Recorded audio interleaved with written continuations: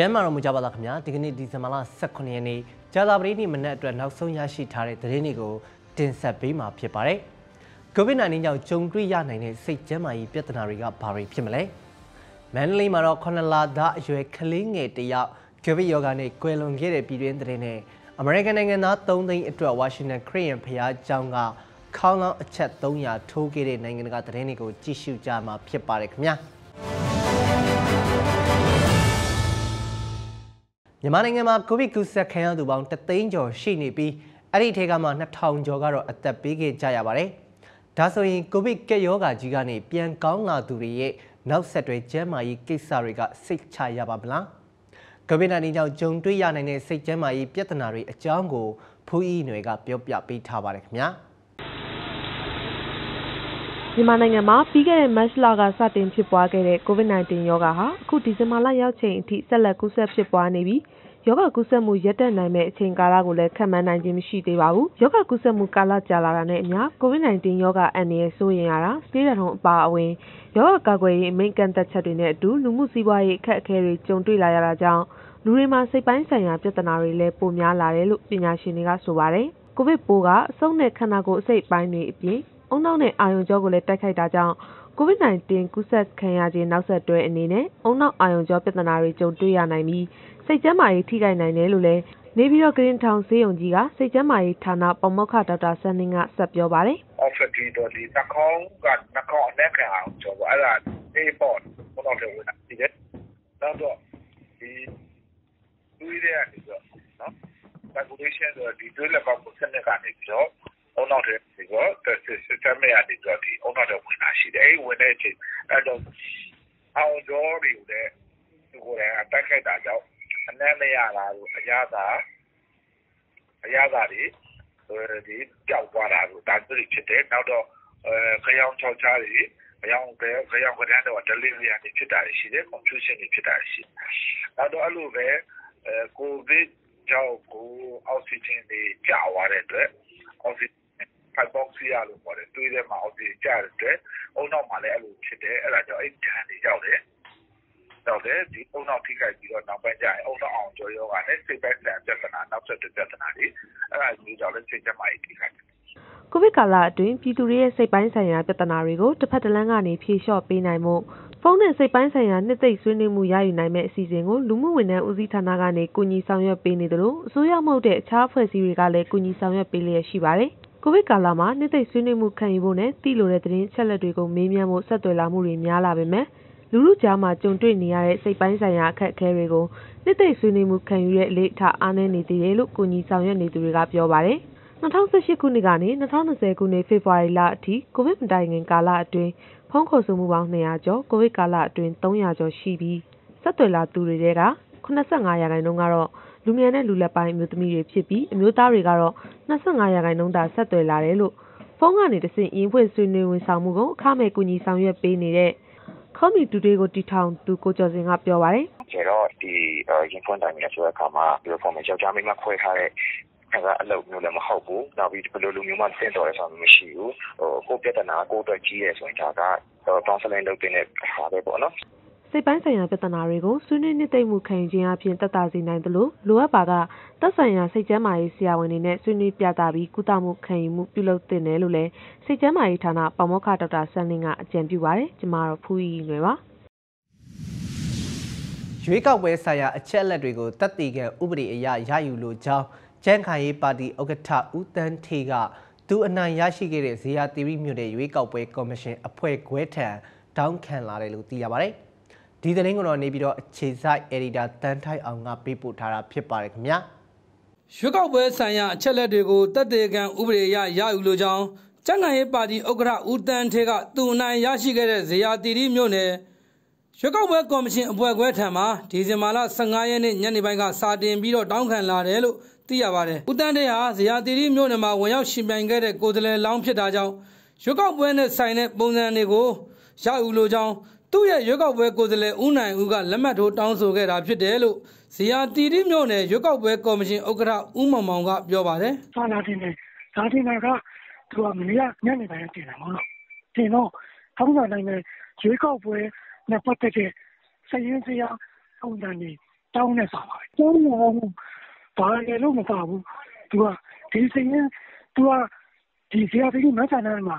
ကိုရောက်ရွေးခံတဲ့ကျုပ်ကကိုယ်စလည်းတော့ဖြစ်တယ် အဲကျတော့ပတ်မှတ်တဲ့ ပုံစံတိကျပုံစံ7ပုံစံ73ပုံစံ16တော့ပုံစံ အကုန်ရှိပြီးကြပုံစံ78 19ပါ အကုန်တောင်းတဲ့စာပါပဲ ကျန်တာတော့ မပါဘူးကျောင်းရင်းစာထဲမှာ ပြည့်ပြည့်စုံစုံ အချက်လက်တွေပေါ်ပြပြီးတော့ တောင်းအနာမပါဘူးသူကရိုးရိုးချင်းချင်းလေးပဲဒီတမတ်တဲ့ ပုံစံတွေကိုမျိုးတွေဟာဒီကပုံမှန်69 68ရရတောင်းခံတာပါပဲဇီယာတီရီမြို့နယ်ဟာတိုင်ရင်တပ်ဖွဲ့တွေများတဲ့ မဲဆန္ဒနယ်ဖြစ်ပြီးတော့ တက်ချုပ်အပါဝင်တပ်မတော်ရဲ့အကြီးအကဲတွေမဲပေးခဲ့တဲ့မဲဆန္ဒနယ်လည်းဖြစ်ပါတယ်ဒီမဲဆန္ဒနယ်မှာတော့ယခုလိုအချက်လက်တောင်းခံတဲ့ဖြစ်စဉ်ဟာဦးတန်းတဲ့အပါဝင်ဆိုနှစ်ခုရှိပြီးအယက်သားတူကလည်းမဲပေးခဲ့သူတယောက်ဖြစ်တာကြောင့်ရွေးကောက်ပွဲအချက်လက်တွေကိုရယူလိုကြောင်းတောင်းခံခဲ့တဲ့ဖြစ်စဉ်ရှိတယ်လို့သိရပါတယ်ယခုလိုတောင်းခံလာတာနဲ့ပတ်သက်ပြီးပြည်ထောင်စုရွေးကောက်ပွဲကော်မရှင်ညွှန်ကြားချက်မရှိဘဲထုတ်ပြန်ပေးဖို့မရှိကြောင်းဦးမောင်မောင်ကပြောပါတယ် UEC ကညွှန်ကြားချက်မရှိဘဲနဲ့ ကျွန်တော်တို့ကထုတ်ပြန်ပေးဖို့တခုမှမရှိပါဘူး။ဘာလို့လဲဆိုတော့ရေကောက်ပွဲဥပဒေမှာလည်းသူကကျွန်တော်တို့မဲစင်းရဆိုရင်ရေကောက်ပွဲမကျင်းပမီမှာသက်ဆိုင်ရာကိုယ်စားလှယ်ကြောင်းနေလက်ထဲကိုပုံစံတစ်တွေကျွန်တော်တို့ဆော့ကော်ပြီးပေးပြီးသားလေဟုတ်ကဲ့။အဲနောက်ပုံစံ19ကိုလည်းကျွန်တော်တို့ကတို့ပေးပြီးသားဖြစ်တယ်။အဲကျတော့ကျန်တဲ့ပုံစံတွေကိုဥပဒေရတယ်ပေးရမယ်လို့တတ်မှတ်ထားတာမရှိတဲ့ ကြောင့်ကျွန်တော်ကတော့ ပေးဖို့မရှိဘူး။ UC က ညွှန်ကြားချက် ထုတ်ပေးပါဆိုရင် ပေးမယ်။ UC ကလည်း ထုတ်မပေးဖို့ ဖုန်းနဲ့ ညွှန်ကြားထားတဲ့ကြောင့် ကျွန်တော်ကထုတ်ပေးစရာ အကြောင်းမရှိဘူး2020အထွေထွေရွေးကောက်ပွဲနဲ့ ပတ်သက်တဲ့ အချက်လက်တွေကို ထုတ်ပြန်ပေးဖို့ တပ်မတော်ကလည်း ထုတ်ပြန်ချက်ထုတ် တောင်းခံခဲ့သလိုတိုင်ရင်တပ်ဖွဲ့လိုက် တောင်းခံမှုတွေ ရှိတယ်လို့လည်း သိရပါတယ်။ဒါပေမဲ့ ပြည်ထောင်စုရွေးကောက်ပွဲ ကော်မရှင်ကတော့ ဥပဒေတဲ့ကြော်လွန်နေတယ်လို့ တုံ့ပြန်ထားပါတယ်။ကျွန်တော်တန်းထိုက်အောင်ပါခင်ဗျာ။ ရှမ်းပြည်မြောက်ပိုင်းမှာဖြစ်နေတဲ့တိုက်ပွဲတွေရှော့ချဖို့ SSPP နဲ့ RCSS တို့ဆွေးနွေးနေကြတယ်လို့သိရပါတယ်။မွေလင်းကသတင်းပေးပို့ထားတာဖြစ်ပါတယ်ခင်ဗျာ။ ရှမ်းပြည်နယ်မြောက်ပိုင်းမှာဒီဇင်ဘာလအစောပိုင်းကလေးကဖြစ်ပွားနေတဲ့ထိတွေ့တိုက်ပွဲတွေကိုရပ်တန့်နိုင်မှုအတွက်ရှမ်းပြည်ဒိုတက်ရေးပါတီ SSPP နဲ့ရှမ်းပြည်ပြည်နယ်ထူထောင်ရေးကောင်စီ RCSS တို့တွဲဆုံဆွေးနွေးမှုတွေပြုလုပ်ခဲ့တယ်လို့ SSPP ရဲ့ဒီဇင်ဘာလ15ရက်နေ့သတင်းထုတ်ပြန်ချက်မှာဖော်ပြထားပါတယ်။အဲဒီသတင်းထုတ်ပြန်ချက်မှာ SSPP နဲ့ RCSS တို့တပ်ဖွဲ့နှစ်ဖွဲ့စလုံးအနေနဲ့လက်ရှိဖြစ်ပေါ်နေတဲ့တင်းမာမှုတွေကိုအတက်နိုင်ဆုံးလျှော့ချဖို့လှုံ့ဆော်နေပြီးတော့အချိန်ချင်းတွဲဆုံဆွေးနွေးမှုတွေပြုလုပ်ခဲ့ကြောင်းနဲ့မကြာခင်မှာတိုက်ပွဲတွေရပ်တန့်ဖို့သဘောတူညီချက်တစ်ခုချမှတ်နိုင်မယ်လို့ယုံကြည်ကြောင်းပါရှိပါတယ်။ SSPP ဘက်ကဗိုလ်မှူးကြီးဆိုင်းစုနဲ့ RCSS ဘက်ကဗိုလ်မှူးကြီးဆိုင်းအွန်တင်တို့ကဥဆောင်ဆွေးနွေးခဲ့ကြတာဖြစ်ပြီးတော့ရှမ်းပြည်ပူးပေါင်းဆောင်ရွက်ရေးကောင်စီ SSCAC ကကြားခံညှိနှိုင်းဆောင်ရွက်ပေးနေတာဖြစ်ပါတယ်။ SSPP နဲ့ RCSS တို့ဆွေးနွေးညှိနှိုင်းနေတာဟာမှန်ကန်ပြီးအခြေအနေတွေတိုးတက်မှုရှိတယ်လို့ RCSS ရဲ့ပြောခွင့်ရှိသူဗိုလ်မှူးကြီးဆက်အွန်ခေကပြောပါတယ်။ ဟိုအကျဉ်းချက်နဲ့ SPP တို့ရှင်းလက်ပြီးတော့ တိုက်ပွဲတွေ မဖြစ်ကြရအောင်ဆိုတဲ့နေရာမှာ အပြန်အလှန် ဆွေးနွေးခဲ့ကြတယ်ဆိုတာ ဟုတ်ပါတယ်နော်။ပါရှိပါတယ်နော်။ရှိပါတယ်တက်ဆိုင်တဲ့ ဆွေးနွေးမှုအဝန်ရှိပုဂ္ဂိုလ်တွေကတပည့်နဲ့တပည့်ဆွေးနွေးကြလို့ဟို တိုးတက်မှုတော့ရှိပါတယ်နော် SSPP နဲ့ RCSS တို့ဟာဒီဇင်ဘာလ9ရက်နေ့ကတည်းကနမ်မတူမြို့နယ်နဲ့တီဘောမြို့နယ်တွေမှာတိုက်ပွဲတွေဖြစ်ပွားခဲ့တာဖြစ်ပြီးဒေသတွင်းမှာတော့စစ်ပေးရှောင်သူ200ကျော်ရှိနေပါတယ်။2018ခုနှစ်မေလတုန်းကလည်း SSPP နဲ့ RCSS တို့ကြားမှာတိုက်ပွဲတွေရပ်တန့်ဖို့အတွက်နှစ်ဖက်သဘောတူစာချုပ်တွေချုပ်ဆိုခဲ့ပူပါတယ်။ COVID-19 ကပ်ရောဂါဟာလူသားတွေရဲ့အသက်ကိုနှုတ်ယူနိုင်တယ်ဆိုတာ ကပ်ဘေးကြောင့်သေဆုံးသူတွေကသက်သေပြနေပါတယ်။အခုလည်းမန္တလေးမှာအသက်9လသားအရွယ်ကလေးငယ်တဦးကိုဗစ်ကပ်ရောဂါကြောင့်သေဆုံးခဲ့ရပြန်ပါတယ်။ထက်မြက်ကပြောပြပေးထားပါတယ်ခင်ဗျာ။ COVID-19 ရောဂါဖြစ်ပွားမှုအရေးအတွက်မြင့်တက်နေတဲ့မန္တလေးတိုင်းဒေသကြီးမှာအသက်9လသားအရွယ်ကလေးငယ်သူသေဆုံးခဲ့ကြောင်းသိရပါတယ်။သေဆုံးတဲ့ကလေးငယ်ဟာယောက်ျားလေးဖြစ်ပြီးမန္တလေးမြို့ကပဲဖြစ်တယ်လို့ခရင်950ဆန့်ကလေးထုခုဆေးရုံကြီးဆေးလူမှုဆက်ဆံရေးဌာနကတာဝန်ရှိသူတူကပြောပါတယ်။ကလေးလေးကကျွန်တော်တို့ကဟို9လပဲရှိတယ်လို့ပဲကြားတာဗျတိတာဗျကျန်တာမသိဘူးဗျ မန်းလေးရပဲဗျအဲညကဆုံးတာနဲ့တူတယ်ဗျညကဆုံးတာယောက်ျားလေးပါဗျသေဆုံးသူကိုဆေးရုံကအကြောင်းကြားလာတဲ့အတွက်တည်ယူပြီးအေးငိန်တုတ်တန်မှာဒီဇင်ဘာ16ရက်နေ့မနက်ပိုင်းကတကြိုပေးခဲ့ရတယ်လို့ပရာဟိတမင်းကောင်ရှာဖွေကယ်ဆယ်ရေးအသင်းဥက္ကဋ္ဌဦးခင်မောင်တင်ကပြောပါတယ်ကျွန်တော်တို့ပရိုက်တာမင်းကောင်ရှာဖွေကြတဲ့အင်းကြီးကမနက်ကကျွန်တော်တို့နော်ဟိုအေယာစင်တာအထွက်ရှိတဲ့ နိုင်ရေးလေးခုကိုတော့တကြိုနေတော့မှာပဲဂရင်း950ကလေးစေုံကြီးကနေပြီးတော့ဖုံးဆက်အကြောင်းကြပါတယ်သူတို့စေုံကြီးကနေပြီးတော့ခုနလာသားကလေးလေး positive နဲ့နော်သေဆုံးသွားတဲ့အတွက်လာရောက်ပို့ဆောင်ပေးဖို့ကုသိုလ်ပြုပေးဖို့ကျွန်တော်တို့လှမ်းပြီးတော့ခေါ်တဲ့အတွက်ကျွန်တော်တို့တော့ရောက်ပြီးတော့အဲ့ဒီကလေးခုနလာသားလေးကိုခေါ်ယူပြီးတော့နော်ကျွန်တော်တို့အေးငိမ်ဘာသာပေါင်းစုံတုတ်တန်ကိုတော့ရောက်တကြိုကုသိုလ်ပြုခဲ့ပါတယ်ဗျ မန္တလေးမြို့မှာအခုရက်ပိုင်းအတွင်းပြည်သူ့စေယုံကြီးရှိအနက်ပြောက်ဌာနကိုရောက်လာတဲ့လူ20ဦးမှ18ဦးလောက်ကယောဂပိုးတွေ့ရှိနေတဲ့အတွက်ဖြစ်ပွားမှုနှုန်းကပုံပုံများပြားလာတယ်လို့ဦးခင်မောင်တင့်ကဆက်လက်ပြောပါတယ်။အဲ့တော့ဒီရတဲ့ပိုတိုးလာတယ်။ပိုတိုးလာဆိုမလျော်ဘူး။မလျော်ဘဲနဲ့ဒီ develop မှာပိုတိုးလာတယ်။ ဒါကြောင့်ကျွန်တော်တို့စေုံကြီးဖီဘာကလင်းနဲ့ဒီနောက်စမီယာပါအနက်ပြောက်တဲ့ဌာနကိုရောက်ရှိလာတဲ့သူအားလုံးဟာ20ရောက်ရင်18ရောက်လောက်က positive ထွက်တာကြီးဖြစ်နေတယ်။ဒါကြောင့်ဒီရက်ထဲမှာနော်ဒီပိုးတွေ့လူနာဟာဟိုအလုံးအမင်းများပြားနေပါတယ်။မန္တလေးခရိုင်တွင်ဒီဇင်ဘာ9ရက်နေ့ကနေ18ရက်နေ့အထိတက်နိုင်တဲ့မြကုလူဆက်ဆံမှုရှော့ချဖို့အတွက်ဆွေမီလော်ဒေါင်းချထားပေမဲ့ယောဂဖြစ်ပွားသူအရေအတွက်ကတော့တိတိတသားရောကြလာခြင်းမရှိသေးပါဘူး။မန္တလေးခရိုင်9မြို့နယ်အတွင်းမှာဒီဇင်ဘာ16ရက်နေ့အထိယောဂပိုးဖြစ်ပွားသူ9939ဦးရှိပြီးဆေးရုံတက်ကုသနေရသူ2265ဦးနဲ့တည်ဆုံးသူကတော့105ဦးထိရှိလာနေပြီဖြစ်ပါတယ်ကျွန်တော်ကထက်မြက်ပါနိုင်ငံတကာသတင်းတစ်ပုဒ်ပါကမ္ဘာမှာကိုရိုနာဗိုင်းရပ်စ်တန်ကိုအခံရဆုံးကအမေရိကန်နိုင်ငံဖြစ်ပါတယ်ဒါကြောင့် COVID-19 ကြောင့်အသက်ဆုံးရှုံးခဲ့ရတဲ့အမေရိကန်နိုင်ငံသား3သိန်းအတွက်ရည်ရွယ်ပြီးဝါရှင်တန်ခရစ်ယာန်ဖျားကျောင်းကခေါင်းလောင်းအချက်300ကိုထိုးခဲ့ပါတယ် AFP ရဲ့သတင်းကိုကိုကာပြီးစနိုးကပြောပြပေးထားပါတယ်ခင်ဗျာ။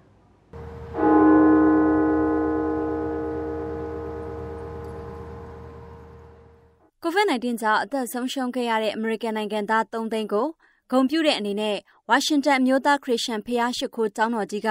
ဒီဇင်ဘာ15ရက်နေဝင်ရီတရောအချိန်မှာခေါင်းလောင်းအချက်ပေါင်း300ထိုးခဲ့ပါတယ်။အမေရိကန်နိုင်ငံမှာတော့လက်ရှိအချိန်မှာကိုရိုနာဗိုင်းရပ်ကူးစက်ခံရသူ18တန်းခန့်နဲ့ဗိုင်းရပ်ကြောင့်သေဆုံးသူ3သိန်းကျော်ရှိနေပြီဖြစ်ပါတယ်။တစ်ချိန်တည်းမှာလည်းပဲအမေရိကန်ဆေးကုမ္ပဏီတစ်ခုဖြစ်တဲ့ Moderna ရဲ့ COVID-19 ကာကွယ်ဆေးဟာဘေးကင်းထိရောက်ကြောင်းအတည်ပြုထားတဲ့ data အချက်လက်အသစ်တွေကို American ဆေးဘက်ဆိုင်ရာစီးမြင်ထိန်းသိမ်းရေးအဖွဲ့ကဒီဇင်ဘာ15ရက်နေ့မှာထုတ်ပြန်ခဲ့ပါတယ်။ဒါကတော့ Moderna ရဲ့ကာကွယ်ဆေးဟာရင်းနိုင်ငံမှာရက်ပိုင်းအတွင်းအရေးပေါ်အတည်ပြုချက်ရသွားနိုင်ပြီးလာမယ့်အပတ်မှာစတင်ဖြတ်ချက်ထိုးနှံဖို့အသင့်ဖြစ်နေနိုင်တယ်ဆိုတာနဲ့ပတ်သက်လို့အားကောင်းတဲ့လက္ခဏာရဲ့တစ်ခုဖြစ်ပါတယ်။ရင်းကာကွယ်ဆေးဟာအလုံးစုံထိရောက်မှု 94ဒရမ1ရာခိုင်နှုန်းရှိသလိုအရေးပေါ်အသုံးပြုမှုခွင့်ပြုချက်ထုတ်ပေးမှုအပေါ်အဟန့်အတားဖြစ်စေမဲ့ဘေးကင်းလုံခြုံမှုဆိုင်ရာစိုးရိမ်ပူပန်စရာတွေမတွေ့ရှိရဘူးလို့ American အစားအသောက်နဲ့ဆေးဝါးကွပ်ကဲမှုအဖွဲ့ FDA ကပြောပါတယ်။ရင်းနိုင်ငံမှာ Pfizer နဲ့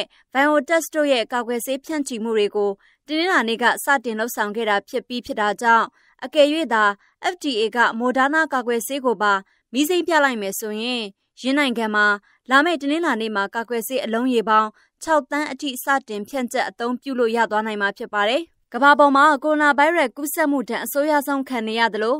သေဆုံးသူ3သိန်းကျော်ရှိနေတဲ့နိုင်ငံမှာရင်းကကက်ယောဂါကိုတိုက်ဖြတ်ရင်ဆိုင်မဲ့အားကောင်းအစွမ်းထက်တဲ့ဒုတိယလက်နက်တစ်ခုဖြစ်တစ်ချိန်တည်းမှာလည်းပဲ COVID-19 အတွက်နေအိမ်မှာပဲအမြန်ဆန်းသက်နိုင်တဲ့ပစ္စည်းကရိယာတစ်ခုကိုအတည်ပြုလိုက်ကြောင်း American FDA ကကြေညာခဲ့ပါတယ်။ ရင်းစမ်းသက်ကရိယာကစေးဆိုင်တွေမှာအလွယ်တကူဝယ်ယူလို့ရနိုင်မှာဖြစ်သလိုမိနစ်20ခန့်အတွင်းရလဒ်တွေကိုသိရနိုင်ပါတယ်။ဒါပေမဲ့ကယ်လီဖိုးနီးယားအခြေစိုက် MU ကုမ္ပဏီကထုတ်တဲ့ရင်းကရိယာတွေထောက်ပံ့ဖြည့်ဆည်းမှုကတော့ကနဦးပိုင်းမှာအကန့်အသတ်နဲ့သာဖြစ်နေမှာဖြစ်ပြီးဇန်နဝါရီလမှာကရိယာအရေးအတွက်သုံးသန်းမြသာဖြန့်ချီရောင်းချနိုင်မယ်လို့မျှော်လင့်ရပါတယ်။